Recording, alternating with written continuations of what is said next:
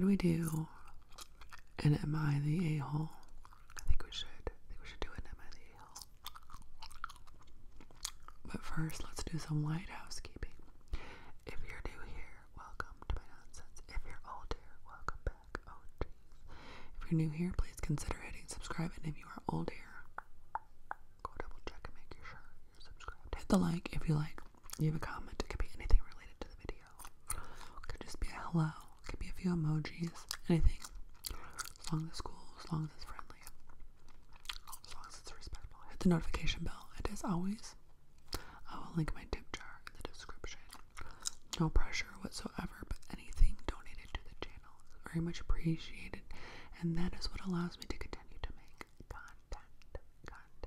I'm your local ASMR server. Also, you can follow me over on Instagram, same name over there. And that is where you can request custom, customized ASMR content.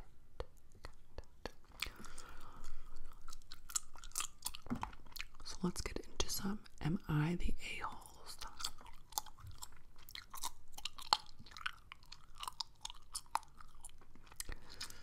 Am I the a-hole for not allowing my son's 17 tomorrow girlfriend to purchase him and his friend tickets for his birthday to a rap concert out of state over two hours away in a major city? That wouldn't potentially end until after 11:30 p.m. and to add it's on a school night. Plus my son has a job. I have heard of the friend's name, but I've never met the kid. Oh, nor his parents either, Dad. I don't think anybody is the a-hole here. But I think your kid's gonna think you're the a-hole. And you know what? Sometimes that's okay. Sometimes that's just fine. And I know it doesn't feel fine, but it is. Uh, I'm trying to think, so because I have, I've had, I have kids in their 20s, and I have my teenager right now. I'd probably say no to this one. I would. And she'd probably think I was the. But I've, I don't know this friend. You're 17. Sometimes, you know, 17 year olds can be a little, what's the word? Flighty, right? I don't want something to happen out there. You get stuck. Who's going to come get you? Probably me, right? Um, it's a school night. Did you ask off like you have a job? I I think you guys can find something to do around here. I don't know, you guys. Let's see what the comments say. Somebody said, My mom probably wouldn't let me go at that age because it's a school night, and then again, I ran away from home, so there's that. Somebody said, What's the difference if he's working till 11:30 on a school night? If he's 17, let him go have fun. Well, what's the difference? That he's right down the street? Don't be surprised if they don't talk to you once they turn 18 and move out. Ma'am, are you 18? okay, Elizabeth. Somebody said, I hate this comment. Parents have the right to say no. If your children are butthurt by being told no from time to time, then they go no contact. That's entitlement. I guess they can go get by with zero help from their parents. I can't imagine not talking to my mom because she told me no to a concert. Yeah, honestly, and I say this with my whole chest because, and this is coming from somebody that doesn't talk to one of her parents. If you go no contact because of your mom said no to some stuff to keep you safe, then your mom won. she doesn't know it, but she won. Um, here comes Elizabeth again. But they asked to go. Would you rather them sneak out and not ask for permission to do things anymore? He's not 15, he's almost an adult. So you get it. I kind of want to go look at Elizabeth really quick. Yeah, that tracks. Okay, that's enough. That's enough Elizabeth in my life. This is the kind of stuff, like, not necessarily just this, but like when I get a bad vibe from somebody, that's why my blacklist is like 3 million long. I'll never interact with this person, but I already caught like a I ne- I hope I never have to see another comment of this person's again, and I'll just block them. I don't know hardly. I definitely know some of the people on my block list. Most of them are just like, eh. I just hope that I never have to see a comment by this person again. Out of the millions of people that have Facebook. um. Okay. So no, I don't think I don't think parent is the a hole, and I don't think the kid's the a hole for wanting to go. But I just think that something like that might be, and you know your kid, maybe maybe your kid can go, but something like that might be a mission for a full-on adult that has a credit card in case something goes wrong. You know, I, I just. I don't think anybody's the a-hole. I think it's just, it's just trying to be a parent and trying to figure out what's the best. Okay, Daniel says, about a year and a half ago, my family and I got an adorable Bichon Shih Tzu puppy named Chloe. As much as everyone in the family loves her, she's a daddy's little girl. Admittedly, I spoil her rotten with steak and roasted chicken. No seasoning, of course. My wife asked me to stop feeding her this because she doesn't eat her regular dog food anymore, and I agreed. For the last six months, I've been feeding her the real food behind my wife's back. I tried mixing dog food in with real food, but the pup just eats around it. Afterward, I clean the plate and put it away and take half the dog food and throw it away. So my wife thinks she ate it. I also give her fresh veggies and fruit that's safe to eat, and I feel like the dog gets better nutrition than from processed dog food.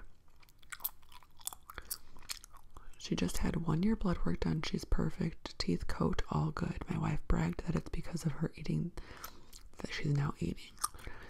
Last week, my wife asked me where the chicken defrosted went. I told her I cooked and ate it, even though I fed it to the dog all week. So now I'm just lying too. He said if this gets one hot 1,000 reactions, I'll confess. Bud, it's time to have a talk. Because there's a few things here, right? Maybe your wife doesn't think it's in the budget to give Chloe chicken breasts. Maybe those chicken breasts are for feeding the family. Maybe. Um, also, the line, like the the level of work that you're putting into this lie is is weird. It's almost like you're cheating.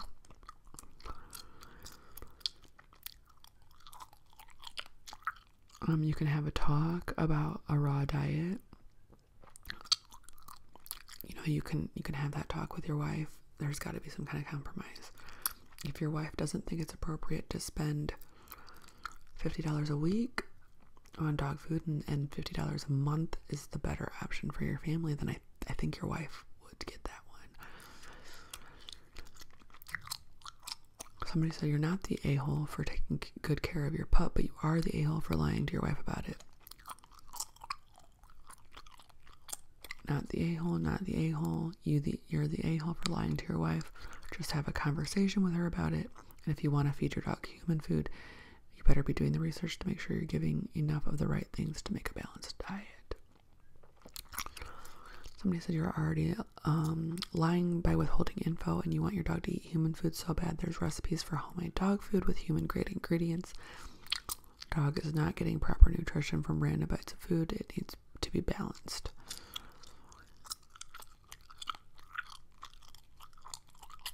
You're the a hole, stop lying to your wife. This needs to be a communication between you two. Oh, you're the a hole, I'm a vet tech. High quality dog food.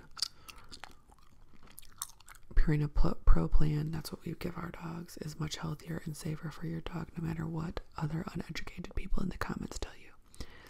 You are not a veterinary nutritionist. You do not know how to formulate balanced diet for your dog. The brands I listed perform extensive feeding trials and are formulated by vets. There's 54 comments on that. Somebody asked her, Well, then you eat it then.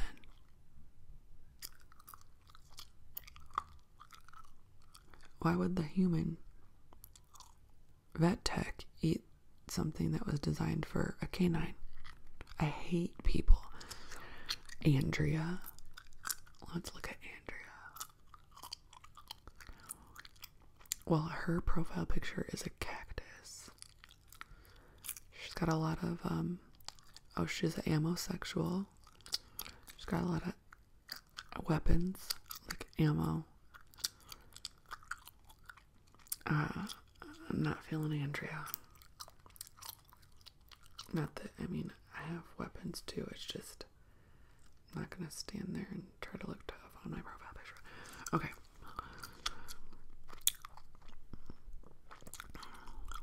Anonymous. Okay, my turn.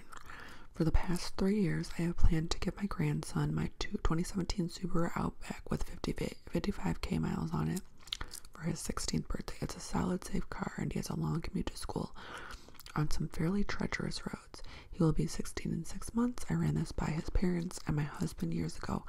They all supported the idea. I haven't traded it in because of this. I didn't tell my grandson because I wanted it to be a surprise. Three months ago, his other grandfather bought a 20 year old small, crappy car for his girlfriend, the grandfather's girlfriend, who said she isn't driving that piece of crap car because it needed a lot of work and it didn't even run. He then processed to give it to my grandson. He had it towed to his house where it's he had it towed to his house. Oh man. Where it has just sat. Recently my grandson started fixing it up and getting excited about driving it. Now my husband said it would be inappropriate and rude of me to give him my car as planned, and he's pissed off that I disagree. This has been my plan for three years, and his parents knew this, so they would be fine, I'm sure. I don't want to see my grandson drive a car that's not safe just so his grandfather doesn't get butthurt over it. And the only reason he gave it to him in the first place is because his girlfriend didn't take it. Oh, she's not the a-hole. Um, I don't think anybody is the a-hole. The grandpa was like, well, she doesn't want it. I guess I'll give it to him. The only thing that would be an a-hole is maybe if she does end up giving the Subaru to the grandkid and the other grandpa has a little pissy fit about it, then he might be the a-hole, right? But right now he's not. He just didn't know. I would say a little bit of the a-hole is like if other grandpa calls and says, "Hey, I'm gonna have this car towed to your house." No, you're not. You're not having a car that doesn't work come come towed to my house to just sit on my property. So thank you. You're just like, oh no, we already have something in the works. So you'll just have to get rid of it somewhere else. Like that should have just been a conversation. Seems simple, right? Comments. Give him the car as planned. Let him fix up the junker and then he can sell it. Then he'll have gas money and insurance money. Somebody said two cars are better than one. No, it's not. You have people are fucking You have to insure these vehicles. You have to maintain these vehicles. You have to gas up these vehicles. You have to license and plate these vehicles. Two cars is not better than one when you're on a budget. You hoarder.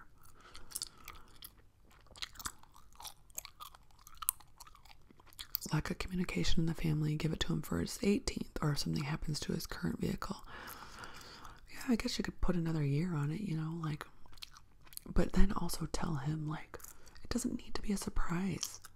Hey, Timmy, I am giving you a car for your 17th birthday, so keep those grades up, and that's what you'll get for your 17th birthday. Help out around the house, and I got a car for you for your 17th birthday. My car that I've taken good care of.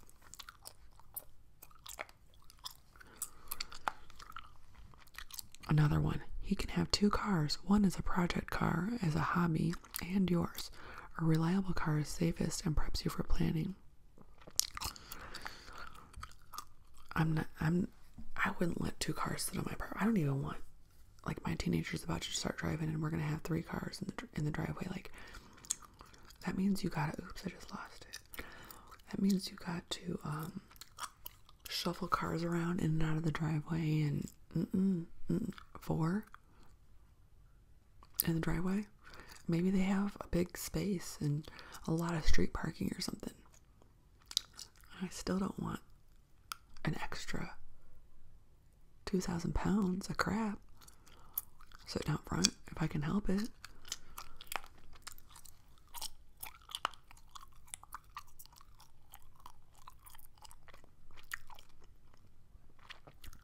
Am I the a hole? I bought the property I was renting and living in. Though after the inspection, there was a lot of work that needed to be done before the mortgage company would take out. I asked the owner if he would help fund the work, but he wanted to sell it as is. I got to work. I replaced the steps to the front door. I did some plumbing. I spent a few thousand dollars. I live in South Florida. It was 2021 when the property values were going up. The owner gave me the selling price years before I actually agreed to buy, and since values were going up, he asked for 5k more. No problem. Now the contract is signed. It's the day before closing. He comes and asks for 5k more. Said, no problem. Now the contract is signed. It's the day before closing. Okay, so I read that twice. So he's asking for 5k more. I said, no, everything is done. Okay, he didn't ask for 5k more and then 5k more, but he did ask for 5k more. She's, and he or she said, Chris. He or she said, no. Um, the contract is signed. It's the day before closing. Comes to see me and asks for five more, and I said, no, everything is done. I read that line like five times. he asked if I could just pay him cash. No way. He's like, I don't want to close without more money. Now he signed a contract. So then why didn't he ask for more money? He's like, so now he signed a contract so I could sue him, but that's more work. He tried to convince me to give him 1K a month for five months. I said, no. I came to you when this first started and asked you for money to help fix your property. You said no. Now you come to me asking for money. Though after 45 minutes, I said, okay, just to get him off my back. Knowing once we close, it's over. We closed. And in the contract that we both signed stated we have no deals outside of the contract. Oh, here comes the baby. Hold on, you guys. Okay, guys, I went up to tend to my toddler and I came back down and opened up the page again. It's just like that one's gone, which doesn't make sense. I don't know how this page works. But, anyways, I think that the landlord was the a hole. Uh, you don't just get to keep renegotiating a deal, right? And maybe that property value did go up by more than 5k. If he put a few thousand into it, though, like he didn't want to do the work, you have to factor that in. Maybe the property value went up by like 20k, but you still have to, you don't get to just like finagle things after the contract's done. You have to think of that, you know? So, uh, the landlord's the a hole for not pre planning, not assessing what his property was worth. And generally, most landlords are a holes. so, I'm not really surprised. The other thing is, you know, it could go really bad. It could have went really bad because this person could have fixed up the place out of his own pocket and then not had a contract. So they were both on. Somebody was gonna get screwed. Somebody was gonna get screwed, if not both, you know. So I guess that's how I feel about that. Alright, I gotta go feed my toddler, get him dressed, all that jazz, give him his morning snuggles. Uh, if you watched this all the way to the end, thank you very much. I hope that you have a good rest of your day, rest of your evening, and or a good night's sleep. I